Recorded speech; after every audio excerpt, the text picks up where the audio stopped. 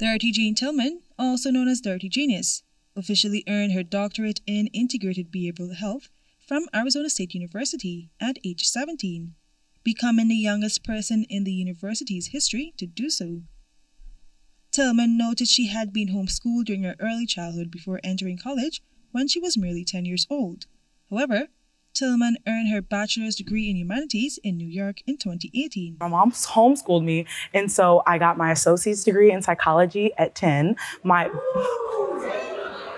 my bachelor's degree in humanities at 12, my master's degree in environmental and sustainable science at 15, and my PhD in integrated behavioral health at 17.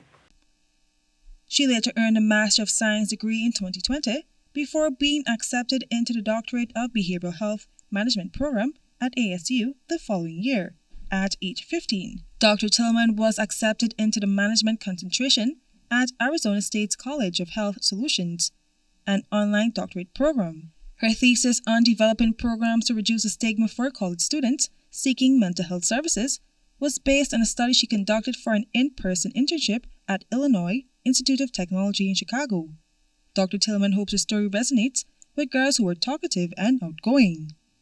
Despite missing out on typical experiences like homecoming dances, spirit weeks, and other school functions, Tillman said that she found the time for dance and choreography and founded the Dorothy Jeanius STEAM Leadership Institute aimed at helping youths in arts and STEM subjects. Our mission is to provide pathways to under overlooked youth's dreams through STEAM. And so what that means to us is just giving them any resource that they need to become a leader and to follow whatever they want to do on that path. So STEAM is science, technology, engineering, arts, and math. And so our STEAM camp is a camp that focuses on building leaders through science, technology, engineering, arts, and math programming. It's normal camp programming, but there's a different letter of STEAM every day, and we're building leaders.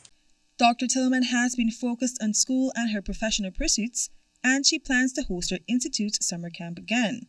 Then she said she plans to take a beat and have a fun teenage summer doing things she loves, discovering new hobbies, and figuring herself out in the process. Reporting for the HGPTV News, I am Kerese Gonsalves.